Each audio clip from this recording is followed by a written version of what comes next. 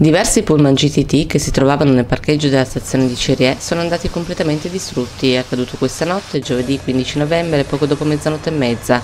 Sul posto sono prontamente intervenute squadre botti dei vigili del fuoco di San Maurizio Canavese e Torino, che hanno domato e spento le fiamme.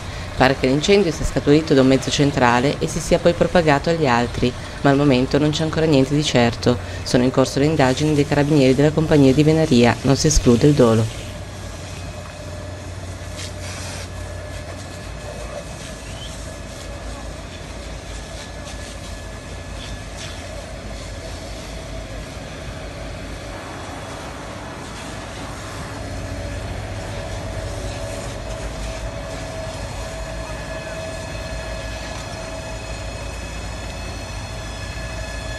L'hai trovato?